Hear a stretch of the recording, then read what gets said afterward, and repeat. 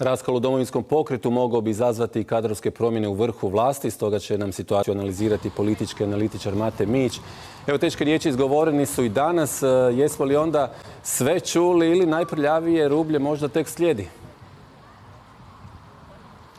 Pa upravo tako kako je krenulo moglo bi se dogoditi da birači u jednom trenutku sebi postave pitanje pored ovoliko prljavog rublja ima li tu uopće čistog rublja. Tako da pred domovinskim pokretom su vrlo, vrlo veliki izazovi, izazovna vremena zato što će stranka definitivno pretrpjeti štetu kao što je pretrpjela i nakon pa praktički nasilne detronizacije Miroslava Škore koja se čini se ovdje ponavlja na neki način. Ali prijava protiv Čipe, tajming nije slučajnost, pretpostavljam. A definitivno nije, dakle ako postoji nekakva konverzacija e, kojoj se ušlo u trag prije nekoliko mjeseci, ako postoji sumnja na nekakva dijela koja traju 15 mjeseci, onda odgovoran građanin podnese prijavu odmah, a ne stavlja u nekakav dosje koji se onda prigodno izvuče tjedan dana pred unutar stranačke izbore. Tajming definitivno nije slučajan i zato kažem, mislim da nas očekuje još ovakvih stvari, zato što po informacijama koje, do kojih javnost može doći, čini se da gospodin Penava ima čvrstu kontrolu nad strankom i da gospodin Radić, da bi pridobio dio ljudi, e, mora ići džonom, mora ići silovitije, mora ići agresivnije, tako da vjerojatno nas u narednim danima čekaju i nekakvi osobni udari na gospodina Penavu, nakon što se evo prvo udarilo njegovog kandidata za njegovog zamjenika Stipu Mlinarića Čipu. Znači, mislite da je takav omjer snaga na stranu Penave. E, ko, bi, ko zapravo ima neku sigurnu većinu? Ima li takvog sada ili netko blefira tu?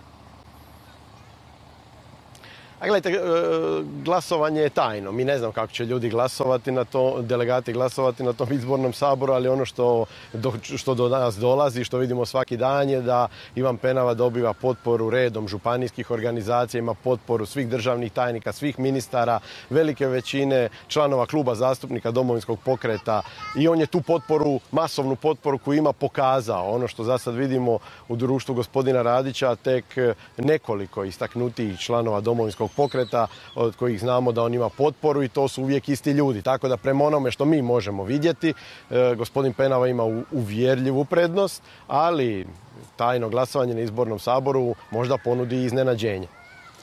A nakon izbornog sabora imali poslije subote mjesta u domovinskom pokretu i za Radića i za Penavu? A isto koliko je bilo za e, e, Ivu Sanadera i Ivića Pašalića. Dakle, nema tu mira, e, to su vrlo bliski suradnici gdje više nema očito među njima ni poštovanja, ni povjerenja i ne vidim da će se bilo tko od njih pacificirati, svesti na običnog člana koji dijeli letke. Dakle, potpuna, potpuna predaja moći onome drugome, a da to sve prođe u revijalnom tonu, mislim da ovdje nije moguće.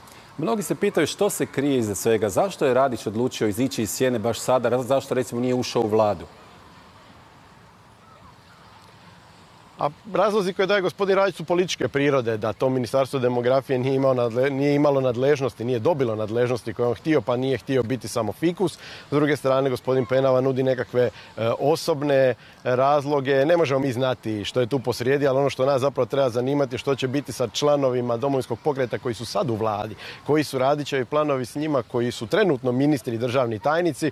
Po, iz njegovog tabora čuje se da su nezadovoljni podjelom mjesta, da su nezadovoljni ministarstvima koje se uze da žele više ideologije i dakle osnovno pitanje za Marija Radića je hoće li tražiti rekonstrukciju vlade, e, hoće li ili će ako ništa zadržati ista ministarstva, ali mijenjati ministre. Dakle, za sad nemamo odgovora na ta pitanja.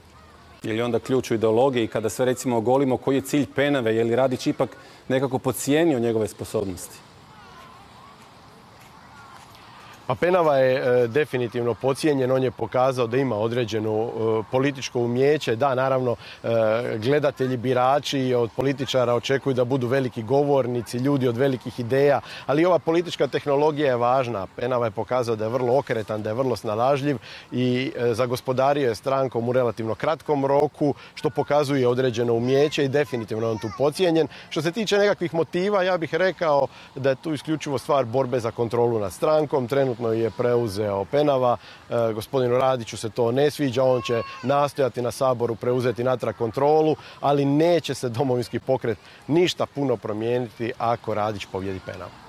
Dakle, čekamo ko će preuzeti kontrolu nad domovinskim pokretom, a treba li e, premijer Plenković biti zabrinut razvojem događaja i možda sa stavljanjem većine ili ovako sada zadovoljno nekako uživa gledajući sve ovo? A pozicija domovinskog pokreta u vladi samo slabi ovime, s druge strane HDZ-ova pozicija jača. Mislim da e, premijer Plenković jedino oko čega treba biti zabrinut je zapravo potpora njegovom predsjedničkom kandidatu Primorcu jer je pitanje u kakvom će stanju biti domovinski pokret za tu predsjedničku kampanju i koliko će e, moći doprinijeti. I s druge strane, naravno, u slučaju da Radić otkine dio zastupnika Penavi, možda će tražiti da i oni kao frakcija dobiju nekakve pozicije u vladi, što onda Plenkoviću komplicira kadrovsku križanju. Da, vidjet ćemo sve idućeg vikenda, bit će ovo vruća jesen. Hvala na uključenju u RTL danas.